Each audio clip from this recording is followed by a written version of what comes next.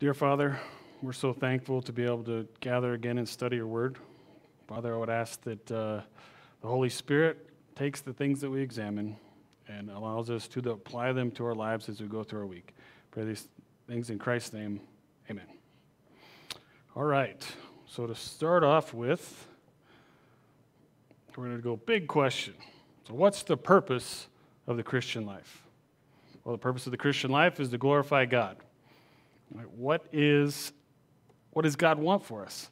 Well, ultimately, God wills that he that each one of us fulfill the plan that He has laid out for us. And so, when we're fulfill the plan He has laid out for us, we'll rest in His promises. This will give us that inner happiness, inner strength, inner peace. Uh, Philippians 4 7, the peace of God, which surpasses all comprehension, will guard your hearts and minds in Christ Jesus. So that means no matter what trials, tribulations, adversities you face in your life, that God has, has given us the tools necessary to deal with those situations so that we can have this inner peace and be free from worry, be free from anger, um, be free from stress, and to fulfill our purpose for Him, which is to glorify Him on this earth. So, what we're going to do this morning is we're going to take a look at a couple Old Testament passages the first Exodus generation and their, their failure in the desert, and then the second Exodus generation and their failure in the desert, and then we'll go to Hebrews and look at uh, how they look back at those Exodus generations, and then we'll do a little uh, resting in faith on God's promises.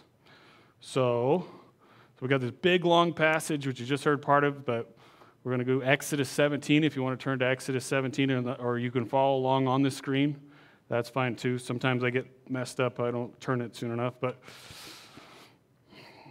give you a few seconds and then we'll get ready. All right, Exodus 17. Then all the congregation of the sons of Israel journeyed by stages from the wilderness of sin, according to the command of the Lord, and camped at Rephidim, and there was no water for the people to drink. Therefore the people quarreled with Moses and said, Give us water that we may drink. And Moses said to them, Why do you quarrel with me? Why do you test the Lord? But the people thirsted for water, and they grumbled against Moses and said, Why now have you brought us up from Egypt to kill us and our children and our livestock with thirst? So Moses cried out to the Lord, saying, What shall I do to these people? A little more, and they were ready to stone me. Then the Lord said to Moses, Pass before the people and take with you some of the elders of Israel, and take in your hand your staff with which you struck the Nile, and go. Behold, I will stand before you there on the rock at Horeb, and you shall strike the rock, and water will come out of it, and the people may drink. And the people did so in the sight of the elders of Israel. He named that place Massa and Meribah because of the quarrel of the sons of Israel, and because they tested the Lord, saying, Is the Lord among us or not? So we see this first Exodus generation um, we'll go through a brief history of it, but they're in a crisis situation. So the Israelites, right, we have the 10 signs which God performed, or miracles, which liberated them from Egypt. God had delivered them from over 400 years of slavery against the greatest empire in the world at that time. Obviously, he had parted, parted the Red Sea for them so they could cross and then closed it back up, which swallowed the Egyptian army. He had provided 2 million uh, adults and their children he had met every need that they had in the desert, and he led them through the desert, right? So we see he led them, which is a tough place to be with no water, but he led them, right, with a cloud by day and a pillar of fire by night. So, for us, this brings out, or for them too, but it brings out a challenge for us. And that challenge is, is that we can see that the Israelites had been saved or delivered from Egypt and that was a much bigger challenge for God than providing water in the desert. So it brings up a question for ourselves. If I have trusted in God for the big things in life, can I trust Him for all the little things? And if the big thing is salvation, then the little things are the problems or difficulties of life. And I don't want to sit here this morning and insinuate that all your problems are little that are unimportant. They are, right? Especially with the, the last couple of weeks we can see that the world can take us to our knees very quickly, can it? So, um, and it's going to be difficult for any believer. So you have to ask yourself in these situations will he meet my daily needs or not? And again, it's easy to trust in him when the bills are paid and the retirement account's full and we're healthy and our loved ones around us are healthy. But it becomes much more difficult to trust in him when adversity strikes and our whole life can be turned around in an instant. So, we're going to see how the Israelites did with this situation. So, in Exodus 1, we see that God was leading them to this place, right? So, He wanted the Israelites to be in this situation. Why? Because He wanted to test their faith. And sometimes we make the mistake as believers of thinking once we, we're saved, we're good, we're not going to face any more difficulties in life. And that's the furthest thing from the truth, right? We're going to get tested again and again and again because, you know, testing is, is how we grow. So, what he will always do is he always gives us the means to deal with whatever um, tribulations that he gives us. So, we can always have that inner peace and inner uh, tranquility of soul. Now, again, a no water situation, right? This is a very real problem, obviously, out in the desert. And we may find ourselves in that situation, a place of darkness and despair.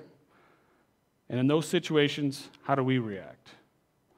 What did the Israelites do? They quarreled with Moses. Hebrew word is to meribah, which means to complain or criticize. They griped, right? And as human beings, that's one of the first things we do, right? We love get in a bad spot, we start griping, we start yelling, get angry. And they also needed a scapegoat. So they beep, beep, beep, beep, beep. They found Moses, and he was their scapegoat. So they even got so silly as to ask Moses for water. Right? They kind of become irrational at this point. Like Moses has water, you know, in his pocket or something that he's going to pull out. Here's his magic canteen, right? He's got no water. So Moses does a great job, and he questions him, and he says, "Why do you test the Lord?" Again, this is, um, we see that was the Lord incapable of dealing with this situation? If he could handle the big need of freeing you from the Egyptians, could he handle this little need of water?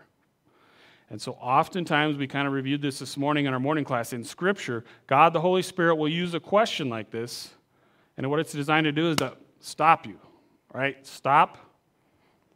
Stop focusing on myself, stop focusing on pity, and focus on what's important.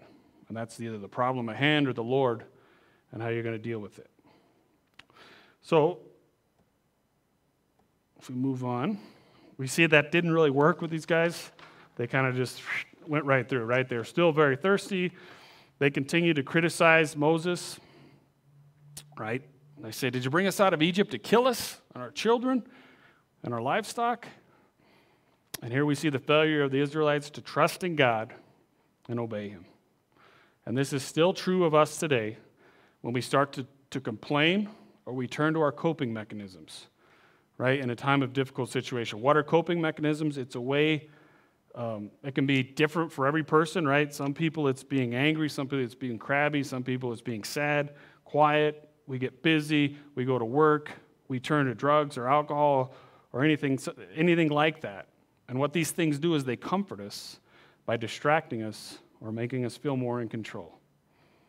And every time we take this coping mechanism, instead of taking God's word in, we demonstrate our unbelief in Him and our lack of trust in Him. Now, now we get to see God's grace. Verses 4 and 5 Moses went to the Lord in prayer, right? He demonstrates faithfulness in the Lord. And he says, What shall I do with these people, Lord? A little more and they're ready to stone me. And we see God's great response. God says, Moses, you know, take yourself and get a couple leaders and go out in front of these people. And so Moses did that. All right, and he went out at a time of great crisis, he still had faith in the Lord.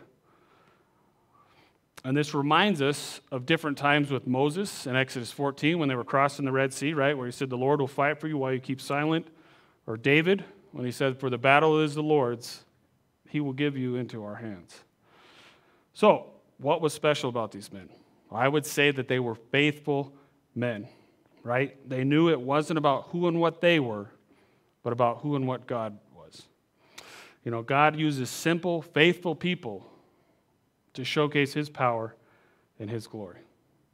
And sometimes I think we can easily get confused. We talk a lot about learning doctrine, and it's essential, but we can get wrapped up in these great theological arguments, and it's almost like we're sitting there doing calculus, trying to figure out derivatives when oftentimes all that's needed is addition and subtraction. Right? The essence of the Christian life is pretty straightforward and simple. And that is we study God's word, we place our faith in it, and we obey it. And we move on. So here we see the Lord, right? He told Moses what to do. He said, Stand there, strike the rock, and water will come out. And Moses did just that. So we see the obedience of Moses. The water saved the Israelites. We see God's grace.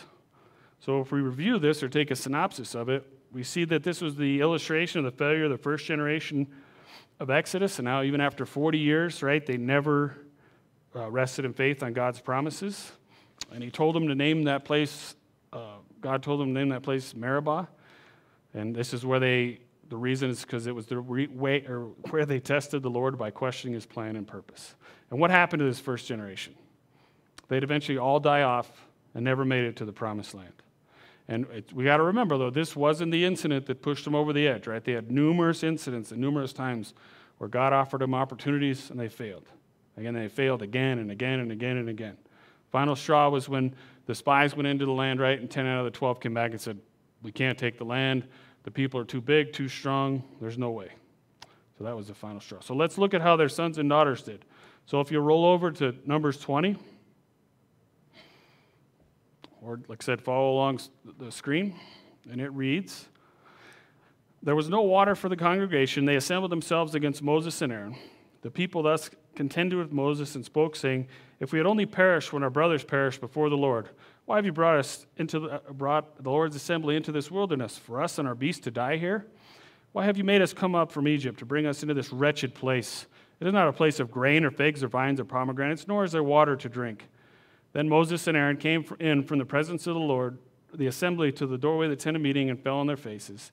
Then the glory of the Lord appeared to him, and the Lord spoke to Moses, saying, Take the rod, and you and your brother Aaron assemble the congregation, and we make and speak to the rock before their eyes, that it may yield its water. You shall thus bring forth water for them out of the rock, and let the congregation their beasts drink. So Moses took the rod from before the Lord, just as he had commanded them.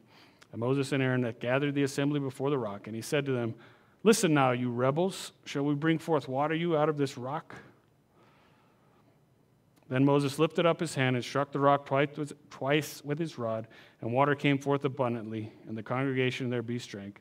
But the Lord said to Moses and Aaron, Because you did not believe me, to treat me as holy in the sight of the sons of Israel, therefore you shall not bring this assembly into the land which I have given them. All right. So here we go again, right? Similar situation. God brings the Israelites out in the desert with no water. Obviously, He had provided for them up until this point and met all their needs.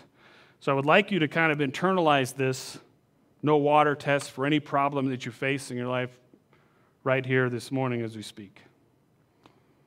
And why does God allow us to go through these things? Well, God allows us to go through these things so we can learn to trust Him and so we can grow. He's given us over 7,000 promises, and He wants us to take those and apply them to our life. Now, maybe you say this morning, I'm good. I'm real good. Well, guess what? Prosperity is a test in itself. Because in prosperity, we learn to, to lean on uh, you know, ourselves or our wealth or our job or so, anything in this life, material possessions, and we don't lean on the Lord. Adversity and hardship are required so that our faith can be tested. You know, uh, I thought of Navy drills when, if you want to get good at a casualty, what do you have to do? You have to practice fighting it again and again and again and again, right? Dave's on the SWAT team, and, and, and Matt's McChesney's also a police officer. And what do they have to do? One thing they have to do is go to the range and practice and practice and practice and practice, right? Because when that casualty situation hits, it's a lot different, you know, to aim your gun at someone and know that you're going to end their life than it is to shoot at a target. So, this is just like the Christian life. God allows us, He tests us to continually practice us, and hopefully, you know, if we can handle the, the uh, charge of the mosquito, then we can handle the charge of the elephant. Now, verses 2 and 3, again, no water, and the people gathered against Moses, and hey, they, they complained him, to him again, right? Again, they go to these, this uh, rational claim saying, hey, we'd be better off dead, Moses, than we were here. And so we have to ask ourselves does this ever happen to us? How do we react? Do we get upset? Do we get frustrated? Do we get irrational? And what does it accomplish? Nothing. Right? It just derails our Christian life and we gets us out of fellowship and we can't glorify God. So again, the, the four and five, the Israelites had the same reactions that their fathers did. And, you know, they panicked and they said, We'd be better off going back to Egypt, Moses. Can you imagine wanting to go back to a place of oppression where they had suffered as slaves for 400 years? But that's typical of human viewpoint. In times of crisis, we like to go back to the situation we were in because we knew that situation. Right? Change is scary, change is bad for us. We like to, even if it was a bad spot, we tend to forget all the misery of that previous situation. So, a principle emerges, and that is we cannot determine our happiness by external circumstances or geography. Because when we do that, we're always going to be searching for that next thing to make us happy or that next place to make us happy. God has designed us so that we'll be happy wherever we're at. And God also tells us in 1 Thessalonians 5:18, "And everything give thanks, for this is God's will for you in Christ Jesus." Now this is a difficult command, right? To wake up every morning and say, "Thank you, Lord, for that pain you gave me yesterday," or "Thank you for this test that you're putting me through today." So why does God do it? Again, it illustrates the grace of God that we're completely and totally dependent on Him and who and what He is, and not dependent on ourselves. It also helps to build us build humility. Because you recognize that without him we are nothing. So again, we got to orient and adjust our focus on God. Now we see here verses 6 through 8, Moses and Aaron, they went to the tabernacle and fell on their face, right? They did exactly what they should have done. They turned to their crisis. In their crisis, they sought the Lord. And right, God told them to take the rod and speak to the assembly and to bring water. And again, we're going to see God's grace here. So, verses 9 through 11, we see the failure of Moses. I'm going to read this part again. And he said to them, Listen now, you rebels, shall we bring forth water for you out of this rock? Then Moses lifted up his hand and struck the rock twice with his rod, and water came forth abundantly, and the congregation and their beasts drank. So I think we, again, as a place where we can have a little compassion for Moses right? For how many, 40 years, he's been listening to yip, yip, yip, yip, yip, yip, everybody in his ear, right? Complaining every time something went wrong. You know, they were in his face, ready to kill him, ready to stone him. So it's obviously a very difficult place to be. Maybe I, I, was hoping he didn't get enough sleep that night or something. You know, I'll have to talk to him in heaven about it, what was wrong or what happened that morning. But we, we've all been there, I guess, is, is the, the point. But we see that God still provided the water, right? God still provided what they needed. But we see that Moses disobeyed. So, how did he disobey? Well, one, he judged them by referring to them as you rebels. Two, he was arrogant because he said, Must we bring forth water for you out of this rock, right? When it was God. Three, he directly disobeyed God because God told him to speak to the rock and not tap it. And four he didn't glorify God, so he failed to give credit to the Lord. And so we see in our synopsis of this passage that there's a principle that emerges for mature believers. And that is as you mature as a Christian, God will continue to test us. And the tests often become more difficult and more frequent.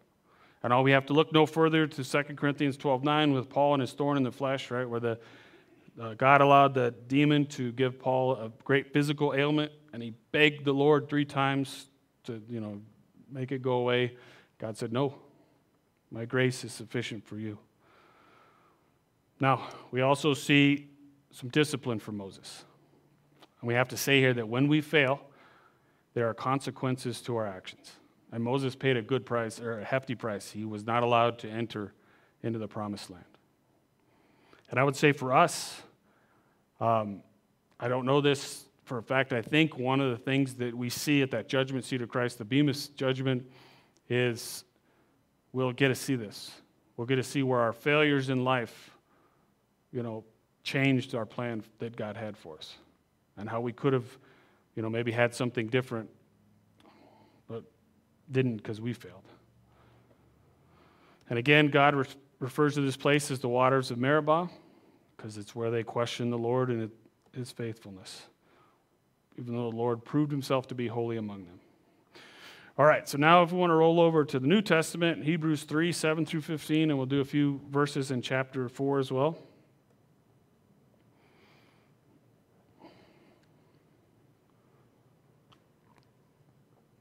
So it says, verse 7 says, Therefore, just as the Holy Spirit says, Today, if you hear his voice, well, what's his voice today? It's his word, right? It's 7,000 promises. And, you know, this is one of those places, I know we talked about it a lot, but we can't get away from. You got to memorize the promises of God. Or you got to have a quick way of, you know, it's got to be on your soul because you're going to need them all the time. So I listed a few of my favorites 1 Peter 5 7, Isaiah 41 10, Psalm 55 22. Right? But you should have, you should kind of be ever expanding and ever growing this list in your soul as you grow as a Christian. Verses 8 and 9 say, Do not harden your hearts as when they provoked me in the day of the trial in the wilderness, where your fathers tried me by testing me and saw my works for 40 years. So we see harden your hearts. What does that mean? That's repeated unbelief and lack of faith. And we know that God always has a rest for those who trust him. Right? That's his plan for our life is we rely on him, he'll provide. But what happens to our spiritual lives when we continue to harden our hearts? Well, what will happen is if we fail to trust in Him in every situation, you're always going to be reactionary, right? You're always going to go to whatever um, coping mechanism you like. Generally, that'll put you out of fellowship. Again, unable to deal with the situation effectively or place it in the Lord's hands, you'll try to deal with it yourself. So you wind up in this repeated spot where it's just a constant cycle of, you know, you go here, here, and you go to the same things, and you say, why do I do the same things over and over again? Well, part of that's because your brain, when you start doing something over and over again, the neurological pathways in the brain like to go the same way, just the way we work. But the soul, it's interesting in, the, in Scripture, this the cardia, the, the, the heart, it seems to be when you harden your heart, that's why we get this picture of every time you reject it, seems like you also get a little scar tissue built up. And it gets a little harder to get through, for doctrine to get through. And so it can get repeated unbelief, repeated unbelief, can get to the point where it so rejects doctrine, so calloused and so hard that it's called the blackout of the soul. And when you get to this point, it's generally the point that the Lord takes those believers out in the sin unto death.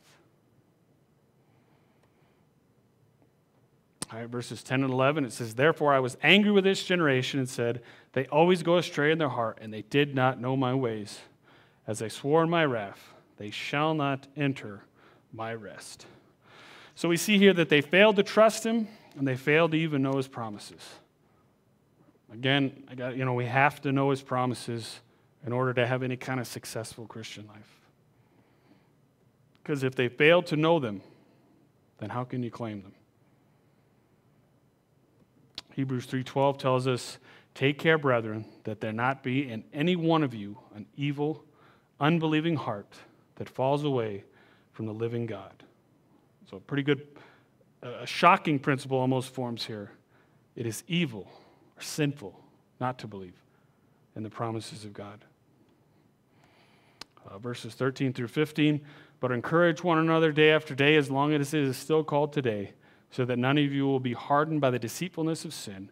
For we have become partakers of Christ if we hold fast to the beginning of our assurance from until the end. While it is said, Today, if you hear his voice, do not harden your hearts as when they provoked me. So encourage each other. Now, we talked about this a few weeks ago in our discipleship and our sphere of influence, right? We have our three, our 12, our 70, our 500. So obviously, those closest to you, you're going to have the most influence over. So that's, you know, what we encourage everybody, but how do we encourage those closest to you? I recommend in the morning, get a clipboard or on your phone. Every time they wrong you or do something that bothers you, you write it down at night, then you read it back to them during the day. Obviously, from Brad's lap, that's a joke, right? That's absolutely the wrong thing to do. Right? How do we encourage them? By being kind, gracious, forgiving. We're meant to be Christ like. And one of those things I think we fail to do, or at least I do, is ask people enough about their spiritual life. You know, do you say, you ask them how their health is, but do you say, hey man, how's your spiritual life going?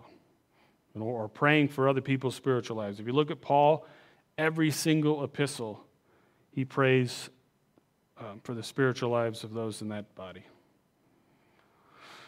So we see that when we talk about faith, 1 Peter 5 7, the proof of your faith being more precious than gold, which is perishable, even though tested by fire, may be found to result in praise and glory and honor at the revelation of Christ Jesus. So, part of our reward system will be how faithful we were to God and to His Word. Now, let's talk about faith a little bit. Um, so, day to day, what do you have faith in? And we have faith in a ton of things. We don't th- I assume most of you got here with a car, right? When you started that car, you didn't check for a car bomb. Assumed that nobody was going to put a car bomb there, right? Or you just believed you had complete trust in the brakes. You believed the sun was going to come up this morning. You believe the sun's going to set tonight. So, as, as human beings, we have to have faith in a certain number of things, right? So, we have to ask ourselves why is it so easy sometimes to place our faith in things and people, but so difficult to place our faith in Christ? And I think uh, what happens is human viewpoint takes over. And so we think we can do it without Him. We believe in our own abilities. And we always have that bad thing where we think we know what's best for us in all situations. So, what is faith? Faith is assured confidence in God and His promises based on who and what He is. So, it's a moment by moment Sabbath. What does Sabbath mean? A rest.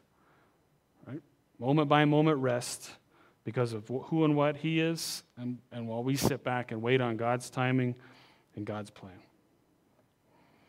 Now, resting in faith, faith rest, this is based on. Uh, I learned it from RB Thieme years and years ago, so it's partly based on that. We'll go to Hebrews 4:1, which reads, "Let us therefore let us fear if while a promise remains of entering his rest, any one of you may seem to come short of it." So of all the things we're not to fear in the Bible, what's one of the things we should fear? One of the promises of God being left unclaimed. So why did God give us our promises? Because He knew in eternity past every single thing that you would face in your life this week, last week, and in the future. And in His infinite grace, He provided a solution for us. And again, that's that inner peace or tranquility of soul once we trust in His promises and have faith in His word. Now, some mechanics. So we'll go through Hebrews 2 and 3, 4, 2 and 3. It reads, For indeed, we have had the good news preached to us, just as they also, but the word they heard did not profit them, because it was not united by faith in those who heard. For we who have believed enter that rest, just as he has said, As I swore on my wrath, they shall not enter my rest, although his works were finished from the foundation of the world. Now, the key, key words in this is, But the word they heard did not profit them, because it was not united by faith in those who heard.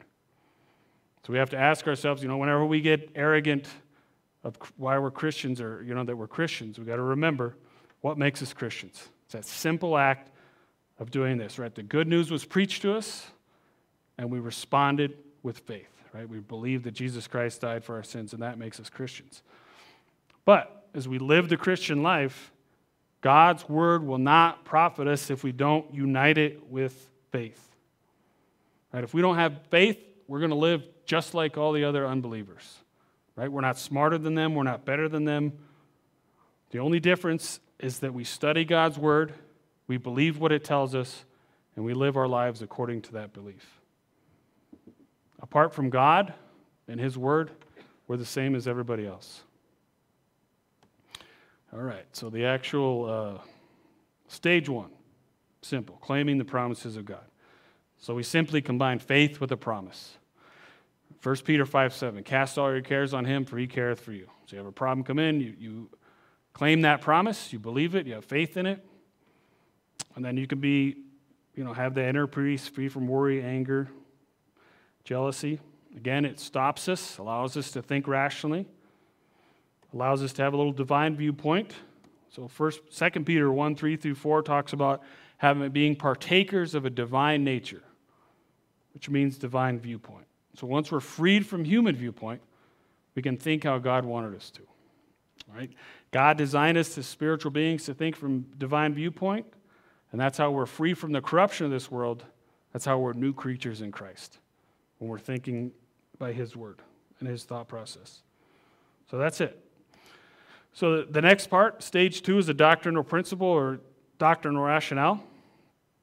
And this is as you study doctrine, you're going to grab certain things, bigger concepts, and hopefully you form these in your head, and you can form principles and rationales in your head. So, one we've been learning a lot about in the, the morning class is the creator creature principle. Right? So, we learned that um, God is omniscient, He's omnipotent, He's omnipresent. He was there in eternity past before the foundation of the world, and He and He alone created the universe.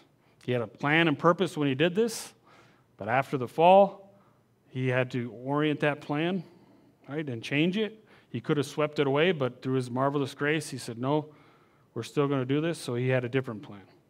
So, as the Creator, God sets the laws and God creates the standards. God creates the plan for us and He is sovereign. So He knows every single thing that has happened to you or will happen to you. So that's God as a creator. As creatures, right, we are to obey God's command and have faith in His word. Our object is obviously to glorify Him. And we're always supposed to respond to God versus responding to whatever adversity is striking us at the time or to the world. And the tough one, the hardest one, I think, is we don't always get to see why we face certain difficulties or adversities in life. And that's just us as create as creatures. God hasn't seen fit to, to always let us know that. So we just have to deal with that. Uh, another quick doctrinal principle is logistical grace. God will supply all my needs. So this means um, for every physical need, God will provide food, shelter, and water, and He'll provide us every spiritual need. So provide a local church, he'll provide a word, uh, pastor, teacher, and the Holy Spirit. Right? He provides all those things. So again, we see that as we learn doctrine, we get countless principles and you know that develop and promises, faith and promises, we claim promises, and that allows us to just the natural conclusion, we reach a doctrinal conclusion.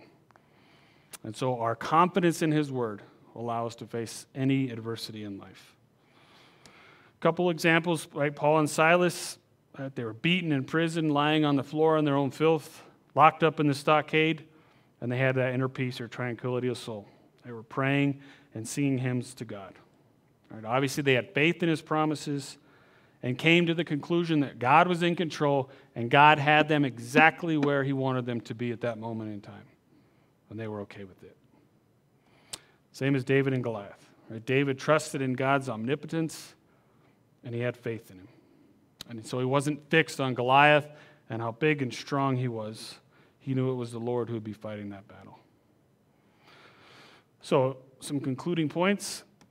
If we look at salvation, we recognize what was our relationship to God prior to salvation?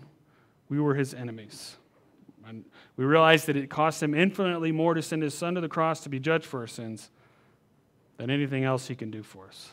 So Romans 8:32, he who did not spare his own son, but delivered him up for us all, how will he not also with him freely give us all things? And so God wants, we're his family, he wants to share his inheritance with us. That's part of his plan. He wants us to see all the spiritual blessings that we can. So we have to ask now that we have done for the biggest thing for us, can we trust him for the little things?